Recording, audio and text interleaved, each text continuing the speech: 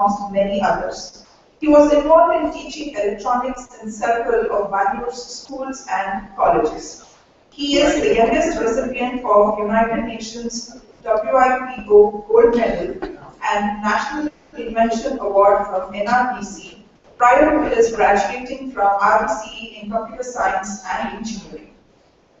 After his MS in Computer Engineering, he has worked in the field of satellite communications for over 20 years for industry leaders such as ComSat and Viasat in designing, developing, and deploying many satellite communication products for telephony and data. He believes many problems are opportunities to solve using technology in broad areas.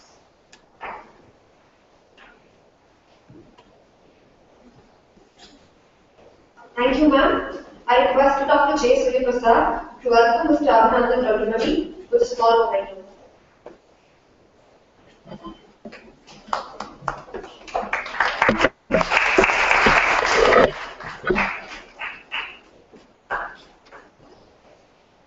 Thank you, sir. I now leave the stage to Mr. Abhinandan Dodamani. Over to you, sir.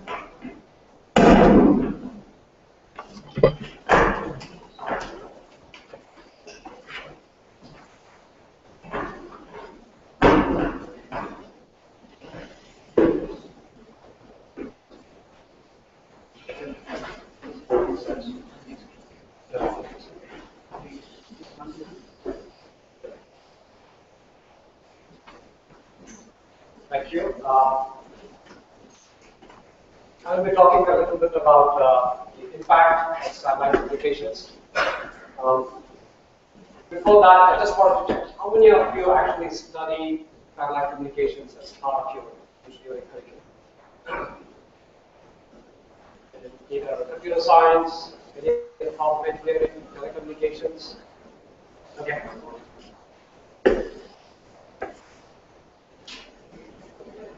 So here's a brief agenda. We'll be talking about the history of satellite applications.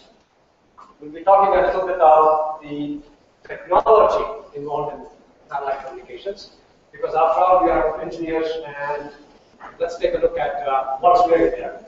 Then we'll talk about applications, uh, today's applications. Where exactly are is satellite communications being used? What type of systems exist? And what benefits, most importantly, can we get out of it? And then some future trends. Where is this uh, technology going? And at any time, please feel free to ask any questions or anything about the topic.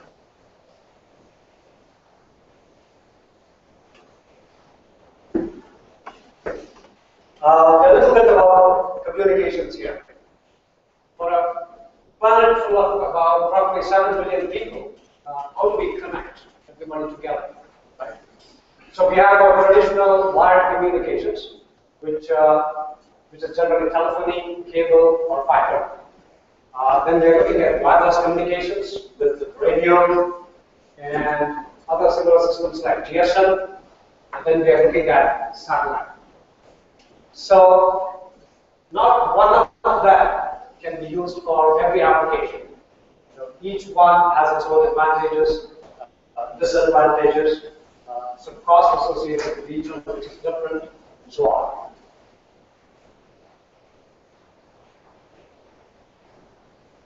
Now, why do we want to use a satellite network?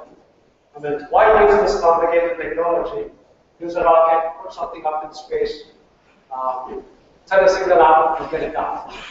Where exactly is it being used? First is uh, underserved areas, small populations, uh, really rural locations where laying a copper cable is not really economically feasible. If you, if you imagine that every person has to be wired, it's a lot of wires. And to complicate things, they all have to be switched.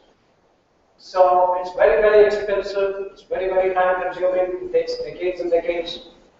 Um, and this is one area where satellite communications can be very useful. The other is outside cell coverage areas.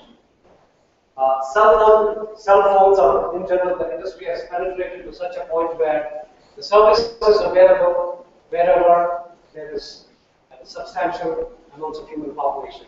But there are many, many regions where cell coverage simply does not exist. So this is another area where uh, satellite communications can. The other uh, interesting application is for scaling for really remote regions. For example, you have an oil pipeline running from Alaska to some other mainland, and we need to monitor items such as pressure, flow, etc. So this is another area where SATCOM can be used. Mobile users. As of today, the only practical form of communication for ocean-going vessels is still satellite.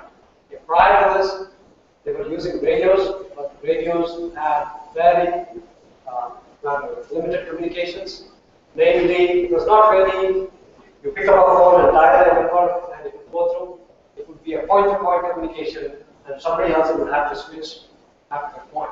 But even that is limited to line of sight, which is you're going on a large ocean like the Pacific Ocean, uh, which does follow the curvature of the Earth. Uh, you simply can't get a, a typical radio signal. Uh, and then you have oil rigs, uh, distress signals for ocean-going vessels. This is another interesting area. And then for aircraft, uh, for something that flies about 40,000 feet high in the air, uh, this is a uh, form communication used over there. And then uh, drones are another application. The defense industry is used for aircraft, ships, drones, area of conflict, etc. Other applications include satellite news gathering, which really allows a reporter to go to an area where the actual news reporting event is happening and be able to, to provide a live video feed back to the transmitting station. Next is television, television distribution, uh, direct to home satellite TV, emergency disaster communications, a backup for landline communications, anything that is requires rapid deployment for short term can be used. Uh, one good part about satellite communications is it's insensitive to the distance. That is, you, you might be making a phone or a data call to a person right beside you, or you could be about 10,000 miles away. Cost is still the same. The other areas are competing with landlines for internet and wide access. Then global asset tracking.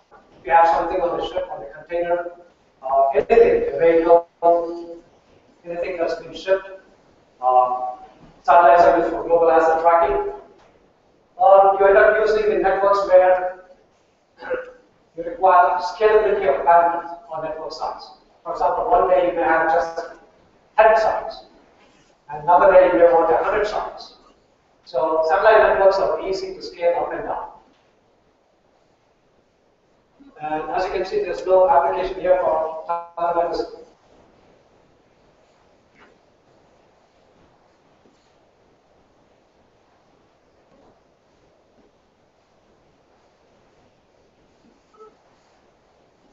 to talk about the economics of the industry. Um, we're looking at a worldwide telecom industry of something like roughly $2 trillion. Out of which roughly about $100 billion uh, is the SATCOM industry. And out of that is about $5 million, what we call as the very small aperture terminal industry, or VSATs, which are basically the end user terminals. The largest segment of this is the television distribution or cable TV. That's simply because it's insensitive to the number of users. You can have 10,000 users or 10 million users. It doesn't cost anything more than putting media content over the satellite and getting additional subscribers. And here's a typical uh, cost analysis of what it would take to build a satellite, launch a satellite, acquire the capital for it, operate, operate it for its lifetime, which is about 15 years in this case. And then how much bandwidth we you have in the end? And what does it take to actually recover the packet and break even? So you're looking at a total of something like roughly 300 million. This is a very round number. It could be anywhere from you know, 250 to 500, depends on the type of satellite and various large. But this is just a typical example. And in the end, you're getting some, not a lot of bandwidth. It's just about under a gigahertz. That's not a lot. And we're talking about rocket science here. Uh, putting all this money and to get this. So this is a very uh, specialized industry, although it's changing now. Satellite space segment is among the most expensive uh, bandwidth and generally used in situations where no other form of communications can be used. Uh, or where it tends to be highly profitable, for example, the cable TV industry or satellite TV distribution industry. Um, generally, a lot of these networks are also subsidized. In other words, the technology is required, communications is required, and it does benefit the population, but there's no direct cost benefit from the operator. So somebody else subsidizes it. That's one form of uh, distinguish. A little bit of the history of satellite communications. Okay, so let's go back to when the first voice communication started taking place back in 1876, with the invention of telephone. Uh, something else was required before the satellites were to be placed in orbit, which were the rockets, and that came out of World War II, the Germany's uh, uh, rockets. Those were later on developed and used for space exploration. And then in 1945, uh, Arthur C. Clarke wrote an article in a magazine called Wireless World where he thought he drew a picture of the Earth and put three satellites out there, approximately 22,300 miles up in space. And that's called the geostationary orbit, where the satellite itself would be uh, rotating at the same speed as the Earth, so that the person on the Earth, it would look completely stationary. It would look like the satellite is exactly at the same time same way, same time all the time. So with that, the concept of having a geostationary satellite started forming. Then the space race started with the US and the USSR, the launch of the Sputnik back in 57. So for the first time, we could put a man-made object out into space. And these satellites were intended for different things. Some of them for repeating signals, some of them were used for television, some of them were used for voice communications, or that came much later on. Uh, then in 1962, um, back in the US, President John F. Kennedy at the time signed a bill called the Communications Satellite Act, which called for the creation of a company called ComSat. And the goal was this. Prior to 1962, okay, the world was not connected people could make local calls, yes. Perhaps you could make a call to another country, neighboring country, because somebody has run a landline wire outside. But what about countries across the ocean?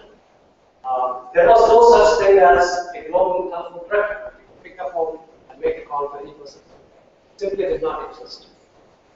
And if it didn't exist, they probably had a cable.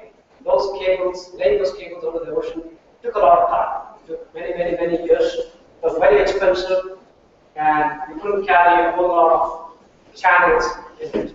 And they were also subject to frequent uh, repairs or deterioration, which made it very difficult.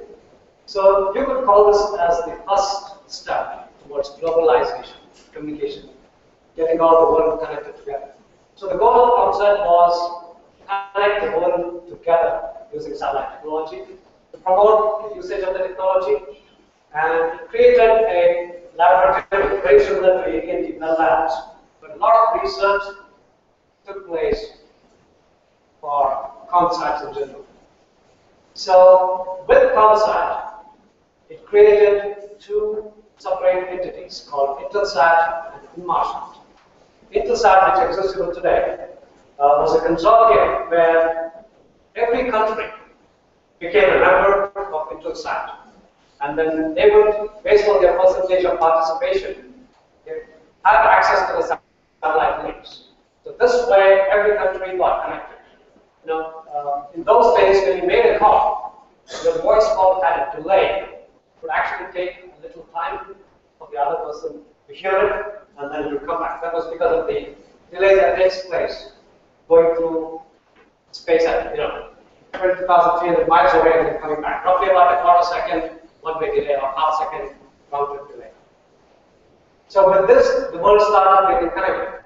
So after the Intelsat, uh, another company was formed, called Marisat. It was later on called as Inmarsat, which also exists today. And Inmarsat was to serve the aeronautical and the maritime industry because communications in those areas was very badly needed, much more than the landline, because there was absolutely no form of communications for the ships, especially the ships, and which took weeks and even months to cross oceans. So th- these are some of the major milestones that took place uh, before commercial satellite communications took place.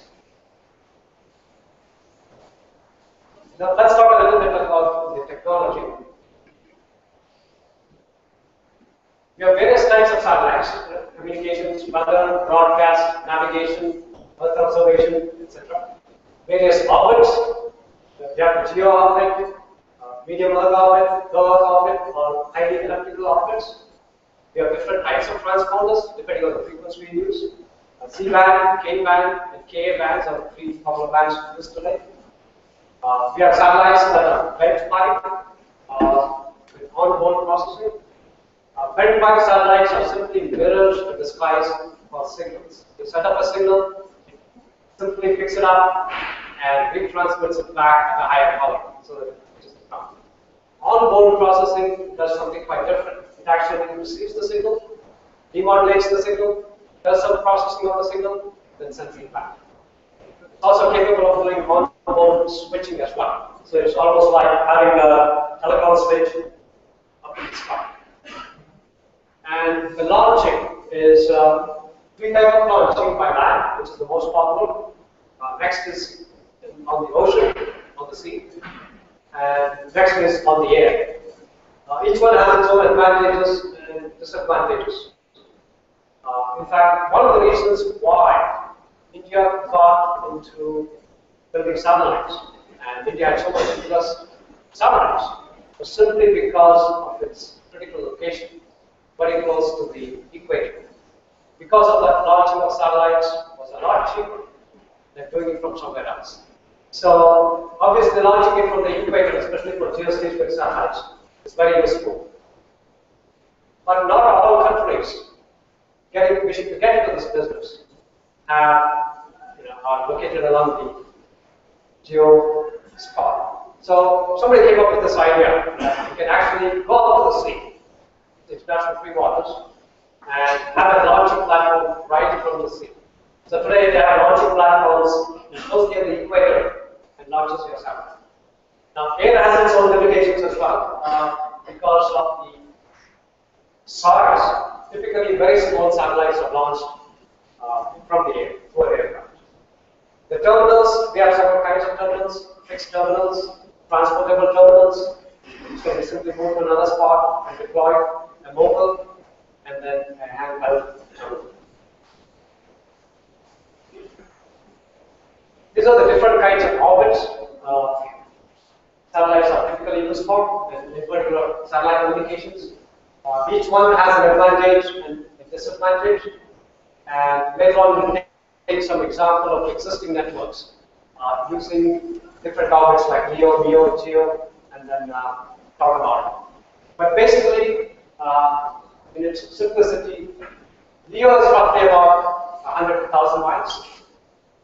Medium Earth orbit is roughly about 1,000 miles to less than geostationary orbit.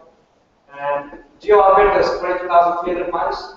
And the highly elliptical orbit is between 100 miles to slightly over the geostationary orbit. Uh, in terms of the actual coverage, as far as the low Earth orbit is concerned, uh, they should not be free. They should be roughly about 40 or 50 satellites are required for global coverage. If you want to cover the Earth at all times, need roughly about 50 satellites. That's because it's rotating faster than the Earth. And at any given point on a LEO satellite, you can see the satellite for roughly between 2 to 8 minutes. Which means if you're making a phone call using a LEO satellite, you will lose the satellite link after 2 to 8 minutes. In other words, it has to be switched and handed off to another satellite, otherwise you lose the connection. So to get complicated in terms of switching. Medium Earth orbit is slightly different. You get roughly about 45 minutes. Okay? The satellite will be exposed for roughly 45 minutes. Um, geostationary is available all the time.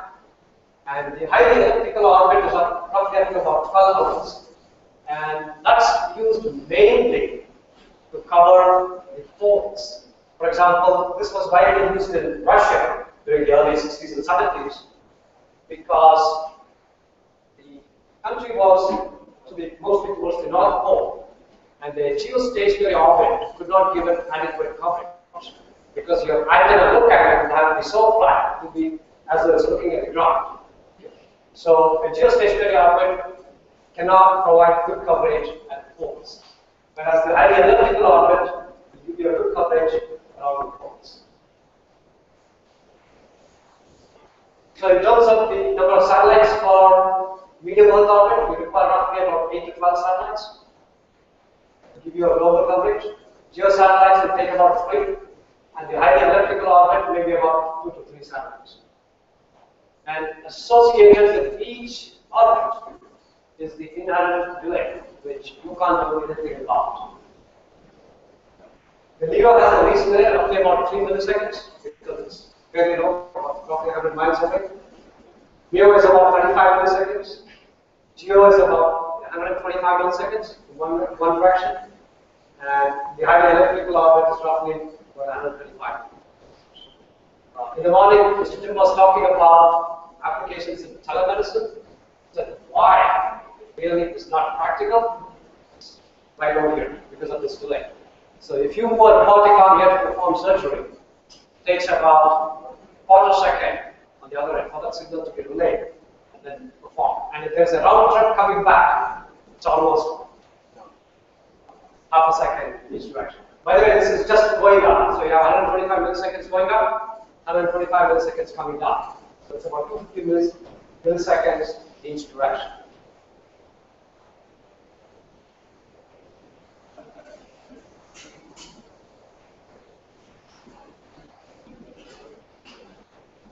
Uh, orbital position. Okay, this is uh, talking a little bit about the geostationary satellites. Um, this is one of the most expensive real estates in the world. Since you have about 360 degrees along the geostationary arc, you can't put a whole lot of satellites over there. The reason is you need a minimum of at least 2 degrees separation between each satellite, which brings it down to, at any given instance, you can't have more than 180 geostationary satellites.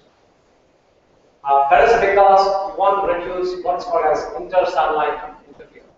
On the ground, you're trying to point an antenna directly to a satellite, which is 22,000 miles away, and you need some some kind of a separation from a neighboring satellite so that you don't end up receiving from its neighboring satellites as well.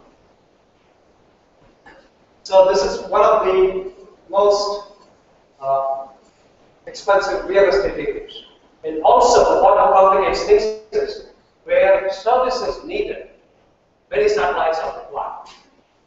For example, in Ireland, if, there's a reason for offering so many services, people will want to put more satellites. But if you want to do that, it's already taken up. There's very little limited slots it. Now, we can also co-locate satellites, which is not a problem, as long as they have different frequency bands. So you can use C band, K band, Ka band, pretty much along close to each other, as long as you're using different uh, frequency bands. The typical lifetime of a satellite is about 12 to 15 years, which is mainly limited by onboard fuel. So what happens at the end of 12 to 15 years? It's really not your electronics that dies away. Um, it has a solar panel, solar power. It's got batteries on board. It will go on for much, much, much longer time. Uh, the electronics are fully radiation hardened. Uh, they generally last decades, much more longer than that. It's mainly the onboard fuel, which is required for what is called as station keeping, that you run out of. And eventually you move it to another so-called graveyard orbit to free up the space for another use. The onboard fuel is required because the Earth is not exactly a perfect sphere. It's bumps all around. The influence of the sun and the moon, gravitational force on the satellite. So as a result of this, on a given single day, the satellite drifts by as much as 50 to 100 miles up and down, east and west. And station keeping operations have to be constantly performed to put the satellite back into orbit. So even though from our point, looking at Earth, from, from the Earth, it looks like the satellite is stationary, it's actually moving, and there are onboard miniature rockets fired to keep the spacecraft back into its intended location. Now, what happens if you run out of fuel? Somebody came up with an idea called uh, this so-called COMSAT loop, which is this is what happens. If you even if you run out of fuel, there are ways of extending satellite life. One is to stop the so-called north to south station keeping, which is trying to bring it back into its orbit. And if you do that, you do conserve the fuel. You don't require fuel for the north and south station keeping. It does extend the satellite life. But what happens is, as a result of that, the beam projected on the Earth is now going to change because the satellite has moved up or down. And the coverage area of the Earth will now change, and we don't want to do that. So there is a maneuver that was designed, it's called the COMSAT maneuver, where it actually tilts the satellite antenna to put the coverage back on back on where it was originally. So that's called the COMSAT maneuver. And these are just some ways of extending the satellite line. Okay, this is a little bit about the station keeping, which I just talked about. On the Earth station, you have a stationary antenna, a tracking antenna for inclined outputs. Uh, because a satellite in an inclined orbit, which goes roughly about 50 miles up and down, east and west. So you need an antenna on the ground that actually tracks the satellite because you lose the signal. If it's a geostationary satellite, then it can be pretty much a stationary antenna.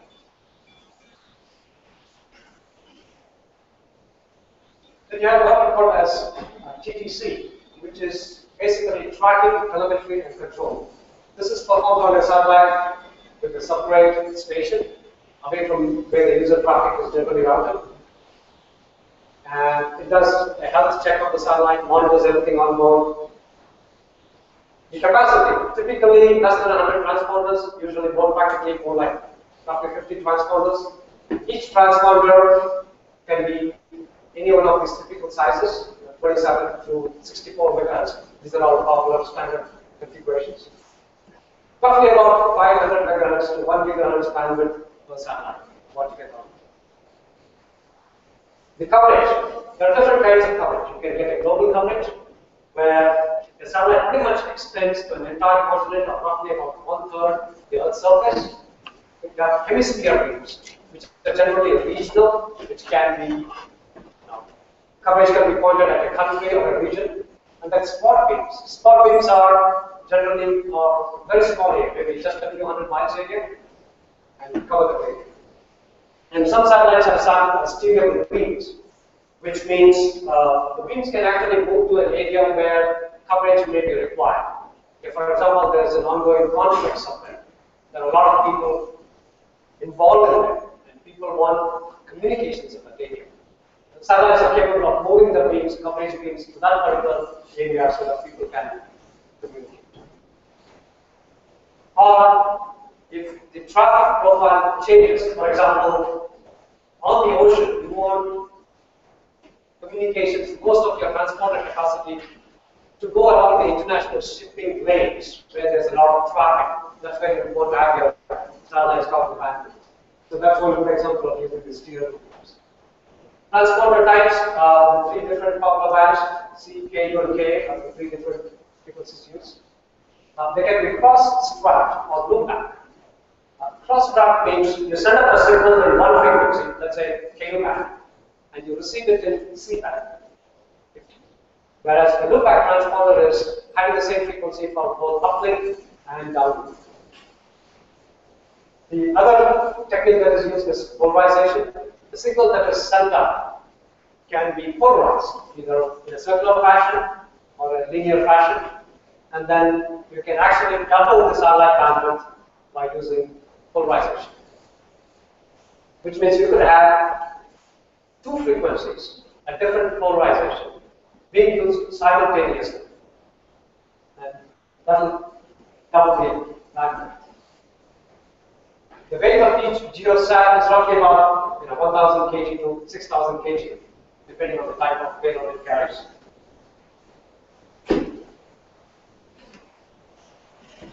This is an example of uh, a satellite footprint coverage. This particular satellite is called RASCOM 1R over the African continent. You can see that this is the global beam, which is here. Pretty much covers the entire African region. This is a, a spot beam covering southern Africa, and this is band. And this is another spot beam of northern Africa. And as you can see, the footprint is not identical, which means the signal strength all across this continent is not exactly the same. As you go towards the edge, the signals are lower.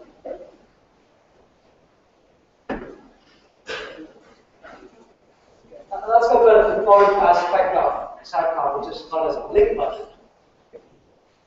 Now, you're taking a signal from Earth, sending it to a satellite which is 22,000 miles away, and then receiving it back oh, on Earth.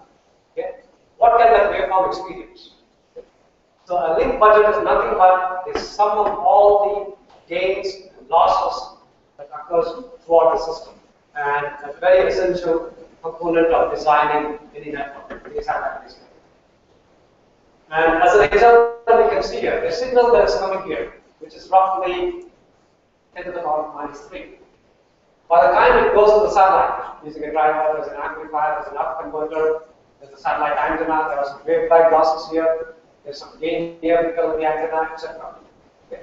You're going by a factor of 9 over here. Okay, that's, that's quite a lot. Then once on the satellite, you start coming down. Okay, the reverse happens over here. So you see a lot of losses in gains. That's quite a lot. To put it quite simply, uh, one of my older colleagues puts it this way. If you take a flashlight uh, on the east coast of the US, turn it on, and try to receive it on the west coast, which is about roughly 3,000 miles away, and get intelligent information out of that, is what we are preparing this. So the signal is so, so, so tiny, and to overcome using these very large numbers, we end up using, of course, uh, so-called decibel, which takes all your big numbers and makes them manageably small. So we are looking at very, very, very tiny signal by the time it comes back. So you will require a lot of uh, processing to be done to recover that waveform and get your intelligence uh, out of is your information. Okay. So let's come down to Earth now. Uh, so what happens here is that we have what we call as a network station. This is the central station. This is typically where your entire network monitoring takes place. You control everything on the ground segment, that. Uh, where your services originate, where your satellite terminals are located, uh, where is your point of interconnect to internet service provider or the public telephone exchange, etc. The gateway is the data termination point. This is where the data comes in and enters the public network through the PSTN or the ISP. Then you have your satellite or remote terminals. You have fixed terminals, which are typically fixed to buildings, uh, mobile terminals, which could be in a vehicle, uh, transportable terminals, which is, take this, for example, a satellite news gathering terminal is a perfect example of a transportable terminal, uh, which is, there's a truck typically used. There's an antenna on top of the truck that is that can be deployed and opened up. And, and then of course you have power on board the vehicle, generator, turns it on. And that's a transportable terminal. You end up using it, you end up taking it someplace and end up using it. And then of course you have the handheld terminals. Services, telephony, landline network, uh, mobile system backhaul, trunk backhaul, internet access. These are some typical services offered.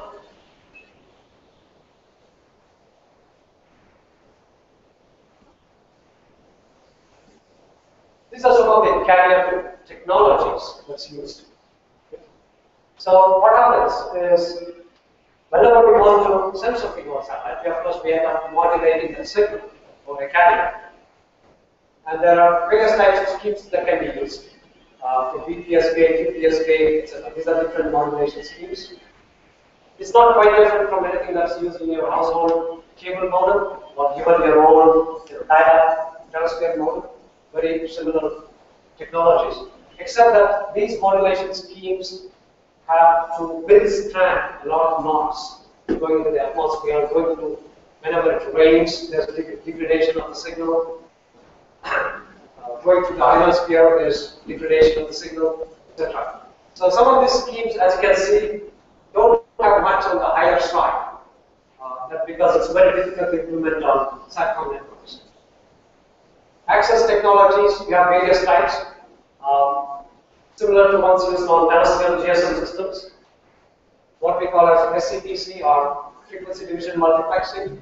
You have the standard TDM, TDMA, uh, frequency hopping TDMA, you have CDMA, and then you have SDMA, etc. There are other standards for DVB-S and DVB-S2, uh, mainly for video and data broadband services. For example, you have satellite TV, uses this uh, DVB-S and DVB-S2 technology to carry out the broadband signals. Allocation, in terms of the actual bandwidth being assigned, okay. each time somebody makes, let's say, a phone call over a satellite system, there's space segment available. But do you want to assign it to that person all the time? No, obviously not, because the person is not going to use it all. You want to assign it only back the user makes a call. So these are the different allocation technologies called DAMA is dynamically assigned, on demand.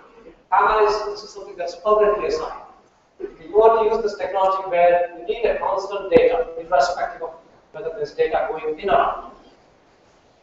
And then you have contention-based technology, which is slotted ALOHA, which is it's not really time critical, but as long as the data gets in there, it's okay. For example, SCADA systems. Theoretically, you want to be able to gather some data from a remote location. It's not critical that the data arrive exactly at that instant. It can wait for one or two seconds.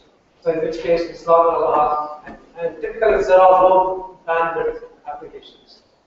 Slotted ALOHA is typically used.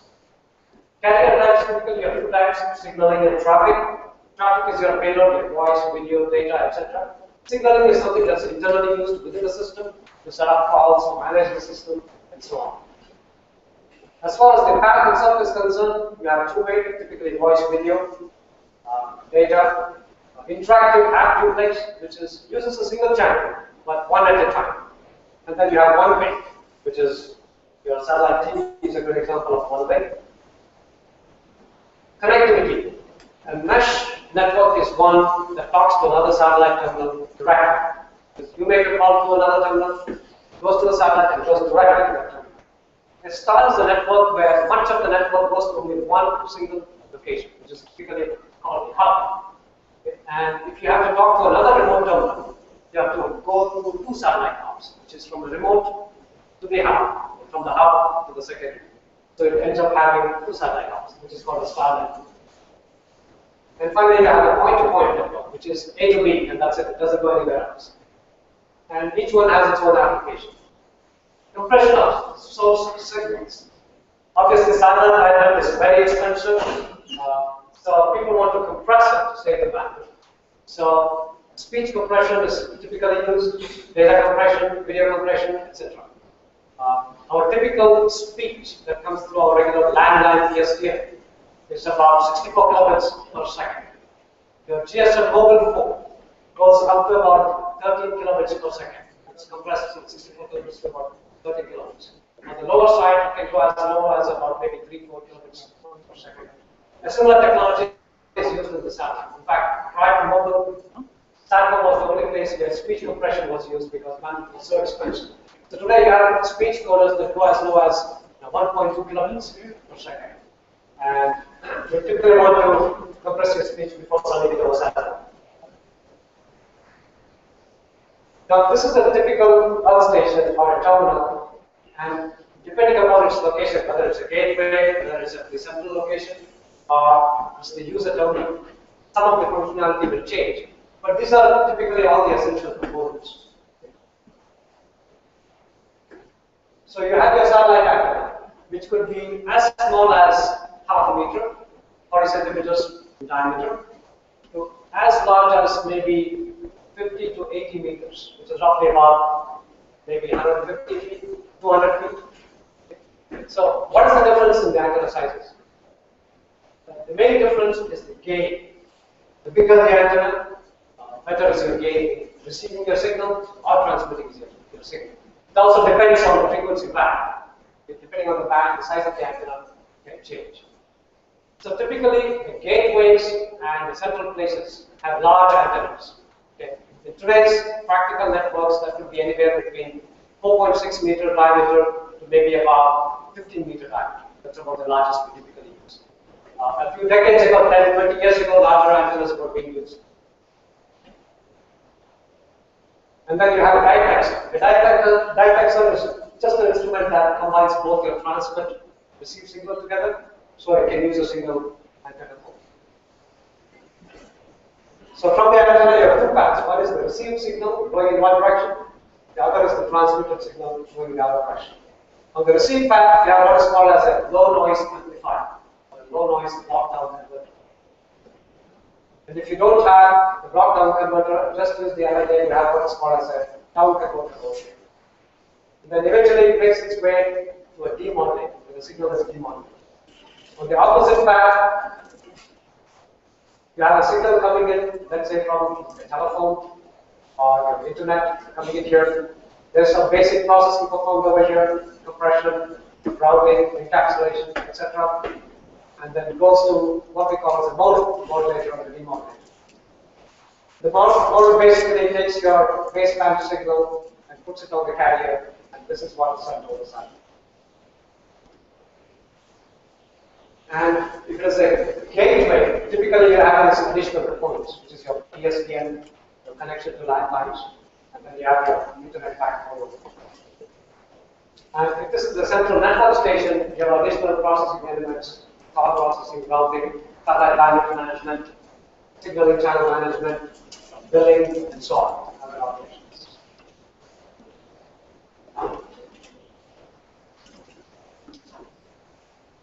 Now, let's take a look at some of the applications and some realistic implementation satellite networks that's out there. These are some of the applications. One is telephony, fixed telephony. So this is an alternative to using your landline, but it behaves exactly like your landline. It's a device that we install in an office, in a building, and to the user, you can't make any difference other than the satellite device. Then you have the mobile telephony, which could be in a vehicle. Uh, it could also be handheld. You have what is called as a trunking application. Trunking application is something that carries a lot of traffic at a much higher level. For example, let's say all the voice calls originating and terminating in India is being transported to some other location. So you have thousands and thousands of circuits with uh, carriers such as E1, T1, etc., or much higher, higher ones like OC1, OC3, etc. So you're taking a lot of these signals and trying to transport them over satellite. That's called trunking application. Then you have GSM backhaul. The GSM backhaul is an interesting application. There are still quite a lot of areas where, you know, telephone has not penetrated because you really have to lay some cables or do something to connect the remote region back to the central site. So here, in, in Here's the GSM backhaul. Here's a combination of two technologies. One is the GSM technology itself, the other is the SATCOM technology. So let's say, let's take a really, really remote region, let's say an island. You put your local base station over there so that the local population is covered. But what about all the signals going back to the central location? That is performed over SAN. So it uses both the technology and that's called GSM backhaul. Then you have SCADA, uh, internet access, data backhaul, satellite news gathering, direct to home satellite TV, television distribution, uh, banking, ATM, lottery, point of sales. Um, until recently, where internet access is available pretty much in a lot of places. A lot of the ATMs and point of sale transaction terminals used satellite communications because it was simple to install and it was better than the dial-up line, okay, which offered very limited data rates and besides it took about half a minute to a minute for the modem to synchronize and get the data path established. So satellites are being used for point of sale terminals. So you go to some place, you swipe your credit card or your debit card, actually went over the satellite.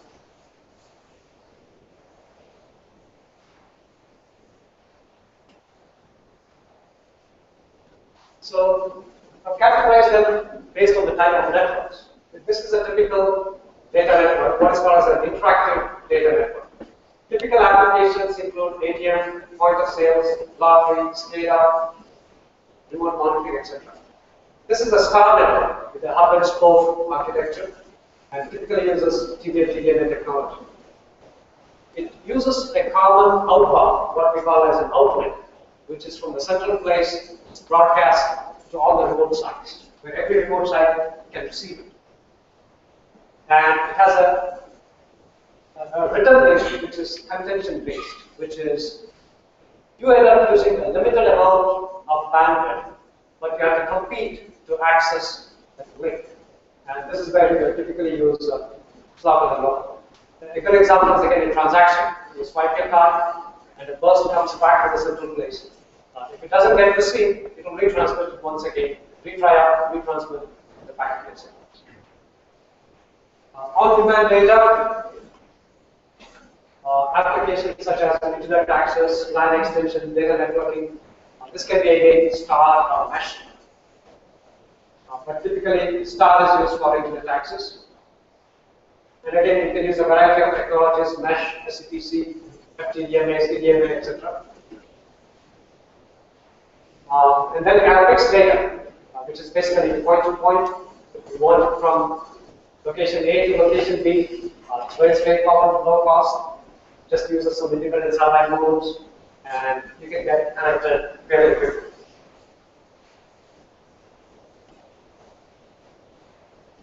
These are telephony networks, uh, fixed telephony networks, uh, basically providing line services, rural telephony, private networks, uh, general thin route, what we call thin route networks, which can again be star mesh and this is pretty much any of the TDM, TDMA, TDMA, CDMA technologies, etc. And also provides facsimile and in-band dial services through a technique called as demodulation, and remodulation. It's used this. And the network size can be a few remotes to thousands of remotes.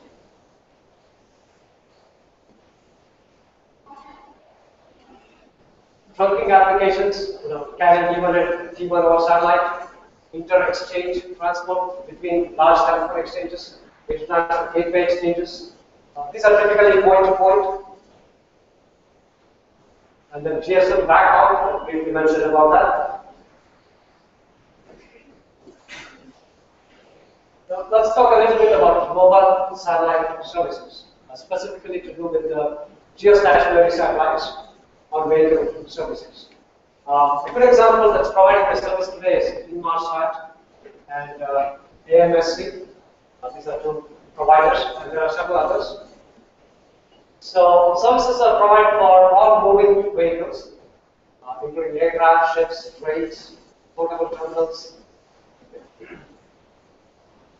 Um, typically providing both telephony, fax, and in-band services, as well as IP data rates. Although the data rates are very low, uh, roughly tens of kilobits to maybe a couple of hundred kilobits. Uh, mobile terminals are required to have tracking. Now, what makes uh, the satellite terminal on a moving vehicle is different is that the antenna has to be constantly pointed to the satellite. It can't be off even by a. Uh, if it does, you will lose the link. So you have what are called as tracking antennas, constantly tracks the satellite all the time, irrespective of the vehicle movement. So if you're on a ship, you're subject to three axis of motion, the antenna is still constantly tracking all the time. The same thing with the antenna, with the aircraft as well. Although the aircraft, you have other bigger challenges. On a ship, you don't have a problem of space. The ship has plenty of space for put a satellite antenna. But on an aircraft, it's very challenging. So typically what gets used up on an aircraft is uh, what is called as a phased array antenna, which is generally flat, electronically steerable antenna.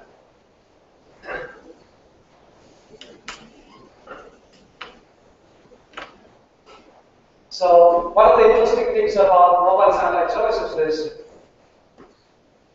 pretty much all of them end up using high-powered satellites with spot beams. This is because to minimize user terminal size, specifically the antenna, and the power that it takes to operate the equipment. So you can do two things. You can translate the cost either to the ground equipment or to the satellite. One way or the other, it's got to go somewhere. So these two providers do provide global coverage using several satellites, um, including inter-satellite and. The frequency band distance for the satellite is L-band typically, and C-band for the gateways. And there are many, many services being offered, and this is the history of all the services Inmarsat has offered. And they're currently now going to deploy what is called as Global Express, which is providing high-speed internet connections. Starting with Inmarsat A, which is basically a analog telephony voice, starting in 70s to today's Global Express, all different various kinds of services.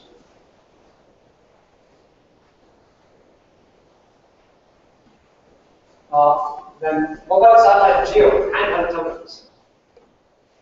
So one of the problems using geostationary, satellites with handheld phones are the problem with the antenna size and the equipment.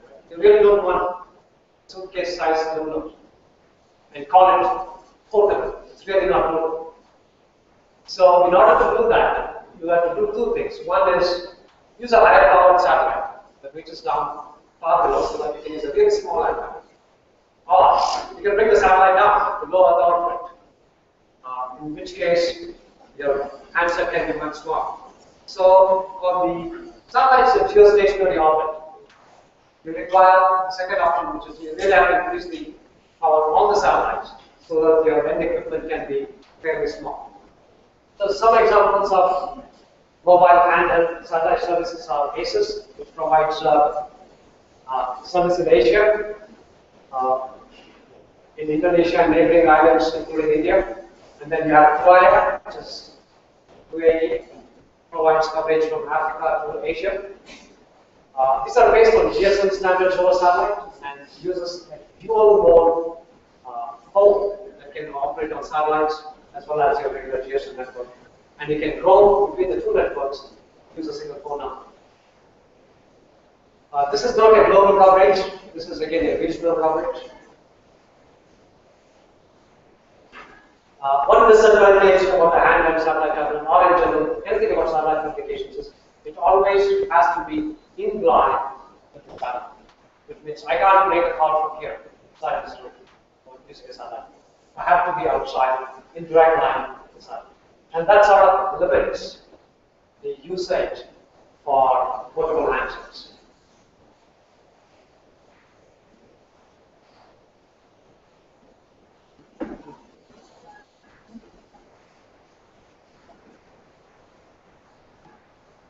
Here's an interesting application for a non-geo satellite. This is a LEO satellite actually. This is called Iridium. Was originally conceived by Motorola back in the late 80s. This uses a constellation of 66 satellites, all in low Earth orbit. And the user can have a view of the satellite for approximately just a few minutes, maybe two, three, four minutes, before the satellite goes out of sight, and another satellite will come in and pick up the voice call almost seamlessly, and then hang it off. So this uses about 66 satellites plus space in eight orbits, each orbit about roughly 90 minutes from the Earth. And each satellite has up to about six years lifetime. So here's an interesting thing that, that happened with Iridium. It was conceived in late 80s. People started designing the system in the 90s. By the time it was deployed, it was late 90s. And by that time, GSM and mobile stations had penetrated the world so much that people really didn't find that much of an application for satellite phones. So this system cost approximately $5 million to build and really Motorola and quite a few other companies lost a lot of money on it. Today it is still operational, it finds very good usage, uh, it's increasing its subscriber base. Um, in fact, it's than Globalstar, which is the next one, uh, Iridium and Globalstar are the two popular worldwide coverage satellite phone service that's available. And the next generation is going to provide much higher data rates, including something like up to 1.5 megabits to the users. The interesting thing about Iridium is that it provides onboard processing, which is it's like a telephone exchange in the sky, which means your voice call, you make voice call between one Iridium handset to another Iridium handset. The signal doesn't have to come to the ground at all. It gets switched right in the sky and it goes to the end user right and this uses the newer so-called Ka band for inter-satellite communications. Since your voice gets bounced around across different satellites, uh, the satellites themselves need to communicate with each other to eventually reach the ground. So, in addition to the ground to the satellite links, you also have what is called as inter-satellite links that communicate within satellites. Globalstar uh, is the next company that started after Iridium Core. Uh, this is slightly different. The orbit is roughly about 850 miles above the Earth. It's simpler than Iridium. It uses 48 sat uh, satellites plus uh, Uh, lesser than the Iridium system. it's got 16 beams per satellite per year, and some inter-satellite things, etc. This is a identified satellite, like the Iridium, which does onboard processing.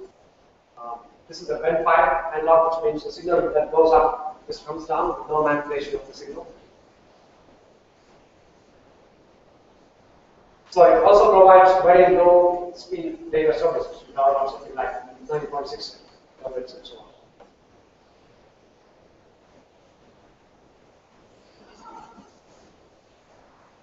Then this is, these are some examples of mobile satellite services that's used for data only. Is involved in your geo satellites. Communications is uh, another company, provides uh, two-way data services, mainly messaging services. People use it for global asset tracking, especially mounted on vehicles. It's very low cost really very, very low data rate. Because you don't need a lot of information to be passed back and forth. You just need information about the asset, where is it located, when it, when it is going to reach its destination and so on. So looking at really low data rates, something like 2.4 kilobits, 4.8 kilobits. And this uses roughly 30 satellites per space and uses about uses this frequency band 137 150 megahertz. And all satellites are in the orbit roughly about 480 miles. There are another service called OmniTRACS, and EutelTRACS. This is by Qualcomm. And they provide similar services but using geosatellites. And this is for the long distance uh, road haulage industry, which means basically trucks transporting goods and other things all across the world.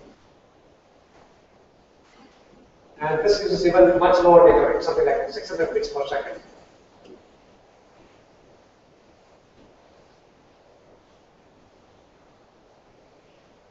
Uh, broadcasting services. Uh, one of the biggest success story for satellite communications is uh, broadcast direct-to-home television. So back in the 80s, you know, when this took off, uh, this really was a really large antenna. They used to call it as the backyard dish because you really required backyard. And it was a really huge antenna, almost the size of a room. And had its origins back there. Today it's simply a small, uh, small sized antenna that can be mounted literally on any rooftop. And one of the things that's happening in India is India is expected to be the world's largest market for this direct-to-home TV. Then you also have what is called as digital audio broadcasting services. This is a paid service, but the radio is not from the air, but it's over satellite, and it's high quality voice. Uh, what comes through the air, your FM or AM, is uh, really not high quality. So in this case, this is uh, providing uh, high quality audio programs over satellite. And basically, these are used for, uh, rather, applications are in vehicles, where people spend a lot of time commuting to work or in the transportation industry, etc. Again, this requires a direct line of satellites, and you may have outages in areas where if you go out of a tunnel, you may not receive any signal, and so on. And these typically use geo satellites, typically one to three satellites that give you either regional coverage or global coverage.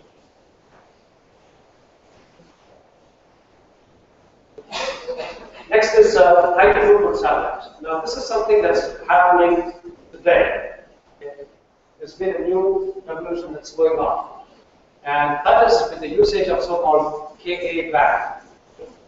The problem with your regular C band and Ku band was uh, only a certain amount of the spectrum was available for uplinking and downlinking, which immediately put a cap on the amount of data sent up or down.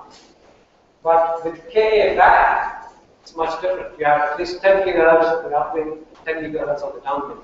So you're talking about gigabits on the band. In addition to that, uh, yes, people started using a technology called reuse of the frequency, which is used in your regular mobile industry as well, which is instead of having one big beam covering one third of the Earth's surface, you can have lots of small spot beams, but focused around areas where there are populations. For example, it's a complete waste having a satellite cover the entire ocean where there's hardly any population. So using this so-called spot beams and the usage of Ka band, we now have satellites that goes up to gigabits of capacity. Uh, when Viasat 1 was launched, it was the highest capacity satellite. It was roughly about a couple of years ago, uh, which, which exceeded, the capacity of this satellite exceeded combination of all satellites in orbit commercially for the North American fund, which was basically some 100 plus satellites. Satellite that was. So suddenly now it makes, now we can actually, for the first time, compete with terrestrial services like DSL, other services. For the first time, that's coming of age. In fact, this is the first company that's offering competitive rates to your local alternative. And it's going to get better in another few years because you're going to see much higher throughput satellites. So this Viasat one is a geostationary satellite, single satellite. Each user can get up to 12 megabits per second and up to 3 megabits on the uplink, which is better than what a lot of all of us get here through DSL or other things. Although higher rates are possible. So this uses hundreds of spot beams over populated areas the frequency is reused for every stop. That increases the capacity. Immediately after Viasat launched the service called Exede, um, another service was started by another company which has roughly about 100 gigabits per second capacity of the satellite. This is called EchoStar 780. This can provide up to 15 megabits per second a single user. Again, uses spot beams and frequency limits. Intelsat, which provided uh, bandwidth leasing for a long time since its inception, back in the 60s, He's also now moving to Ka band, offering high throughput services while trying to maintain an open architecture that still works with their traditional C and K. Other projects, such as this in Japan called WINDS, uh, wideband internet, internet working engineering test and demo satellite, again uses Ka band. This provides up to 155 megabits down, download speed to users with just dish the size of your regular direct TV. Uh, and it provides up to 1.2 gigabits per second speed to a single user. So just to put that in perspective, what we have terrestrially today cannot provide this service unless it's fiber. Fiber is very expensive to a single home user. So for the first time in the history of Satcom or in general telecom, you can get 1.2 gigabits to a single user.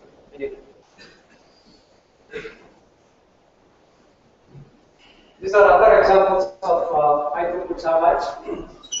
Uh, Inmarsat is launching what's called as Global Xpress, uh, available shortly, using three Ka band satellites, each of 12 gigabits each. Download speeds of up to 60 megabits with a 60 centimeter dish possible. There's another interesting company called O3B. O3B stands for Other 3 Billion, which reflects the state of humans on this earth, which have absolutely no connection at all. The company was formed sometime in 2007, 2008, and at, at the time, half of the world's population was not connected. Their goal was to get them connected. So they have uh, service.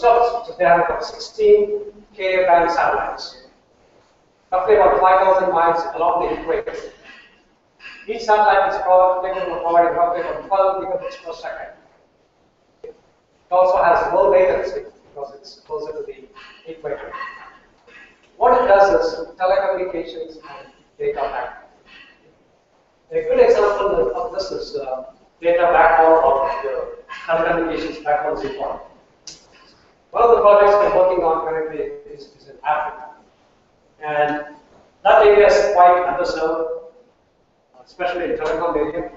And what happens is, if one country wants to call the neighboring country or any other country in Africa, signal actually goes all the way to Europe, where it gets switched to telephone exchange, then comes back to the neighboring country in Africa. It could be just a few hundred miles away or a thousand miles away. So the infrastructure over there simply does not exist. The terrestrial calls actually go a long way. To another continent that gets wasted. Now, this is where the backhaul services can provide um, competitive advantages. So what this will do is this O3B, since it's all along the equator, it will pick up large data access points from anywhere around the equator and drop them. You want so much gigabits here, take it from Africa and move to North America? Yes, they can do it. You can pick it up from one location, send it out to the geostationary arm, communicate with other satellites, and drop it off So that's that's their goal, and several of these satellites are operational, and they have started to provide the services there. Um, another service is the KA-SAT. This is the European equivalent of the Viasat one. Again, a high throughput satellite power beams.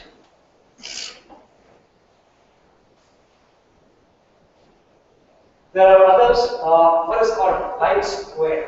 This is an interesting application. Whereas for the first time, this is a mobile terminal that has an integrated 4G and a satellite network built together. So if you're in the remote region, you have access to satellite communications. Terrestrial communication, links back your terrestrial network pretty much right away. Now, they are going through some uh, problems with the user frequencies because it's too close to the GPS band and they are worried it will interfere with the GPS signals. But if that issue gets resolved, uh, this is the service that we offer in North America, uh, which is truly interesting because this is for the first time use a regular mobile phone or rather a mobile phone the size of a regular mobile phone that can talk more per satellite network. Another interesting application is internet routing in space.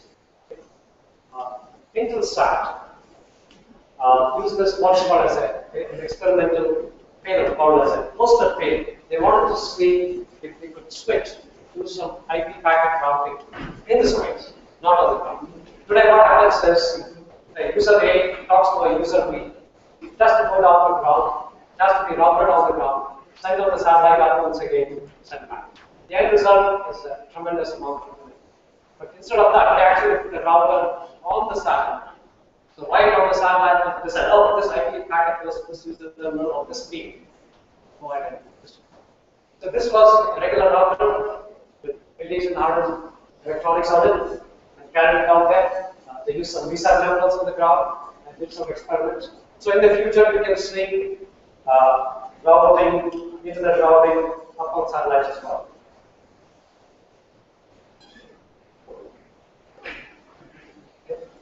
Uh, finally, talk a little bit about the future trends. Where is all this going, all the satellite communication?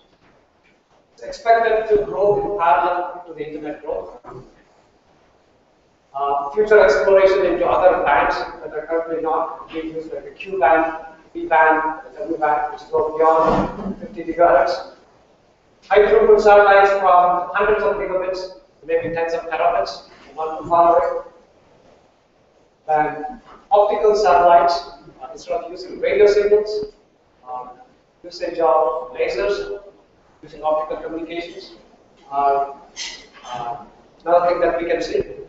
Currently, there are hurdles using optical satellites because of uh, scintillation effects on the light signal, noise, attenuation, etc. Um, the signal does get significantly degraded, so it's really not practical. But in the future, all these problems will hopefully get resolved. They're talking about small pico satellites, using small pizza-sized satellites, working together and changing coverage areas of services. Higher altitude platform systems, uh, roughly about you 20 kilometers away. There's a balloon over there, provide services with the internet, voice, and data. We're talking about the gigabit space corridor, where there have lots of information up in the sky, being switched and routed to any point on the earth. We're talking about Ether geo-platform network, which is satellite having really multiple antennas. But these are all tethered antennas, which is spreading out into space and using them to send the signals up and down. We are talking about manned space communication system. Okay. Uh, this is going for communications beyond Earth, to the moon, and to the Earth. There's already a schedule to establish a satellite communications network on Mars.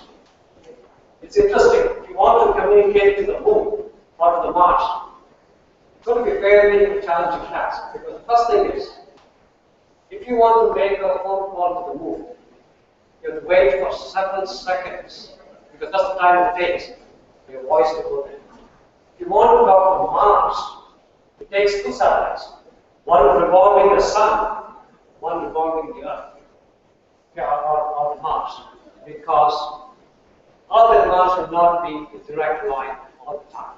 Okay, they go out of uh, direct line. So you need multiple satellites, multiple orbits. And here's the most interesting thing. The distance between Earth and Mars, depending on their orbital location, is roughly about 50 million to about 250 million miles away. That means your voice call, if you say hello, takes roughly about 5, 8 minutes, roughly about 15 minutes for each one.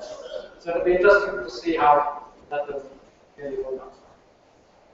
There's also other advances in you know, launch vehicles. Uh, now it's privatized. Private companies are now launching uh, a lot of the satellites, uh, including delivering things to government organizations like the International Space Station and so on.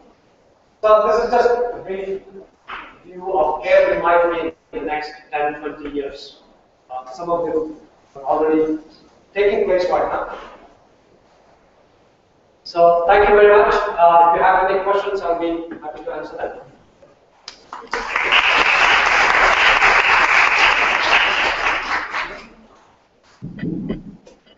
Thank you, sir, for a very informative talk. On behalf of PES institutions, I request the Honorable Principal, Dr. J. Surya Prasad, to present Mr. Abhinandan with a token of our gratitude.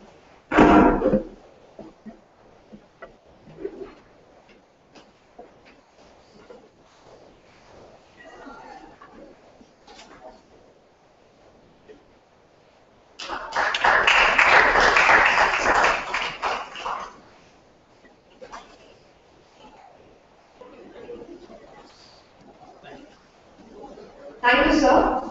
We will now break for tea, followed by a student project exhibition at room number 004 on the ground. Please do visit the exhibition to witness some amazing projects in science and technology. The exhibition will be followed by dinner at 7.30. It will be a pleasure to have you here again tomorrow morning, 9 o'clock. Thank you one and all, and good evening.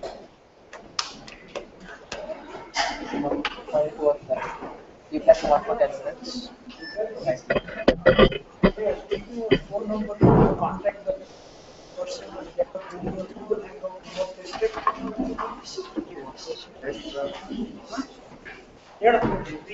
get